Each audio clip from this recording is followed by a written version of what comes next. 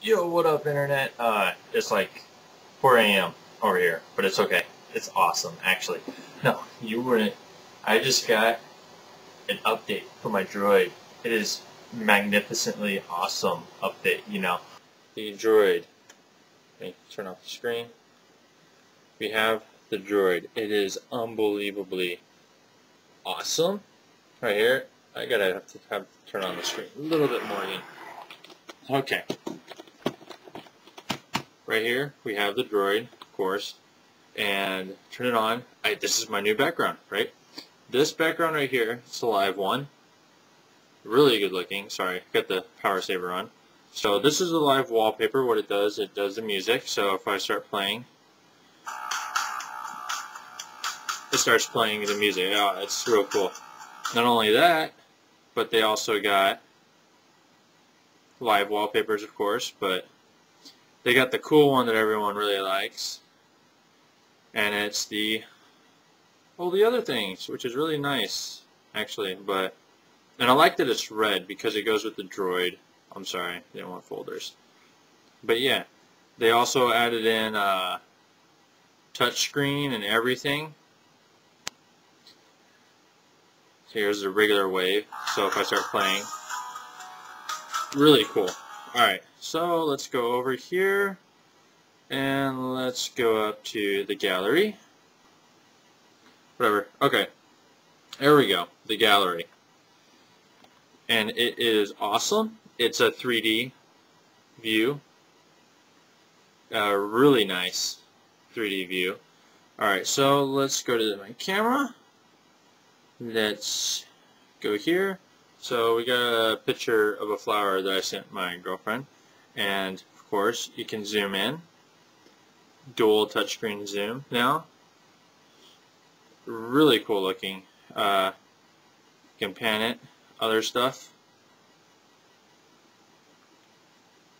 Really cool. I like it a lot now. Um,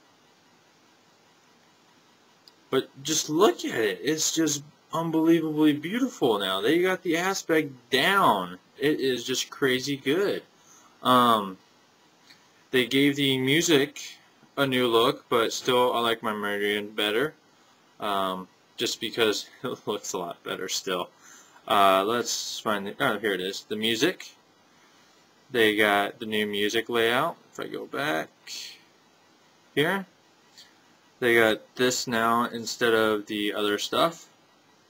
Go to artists, songs, playlists, whatever works for you kind of deal. This is right here. This helps uh, conserve your power. So right now I have Wi-Fi set off, I have sync set off, I have my GPS set off.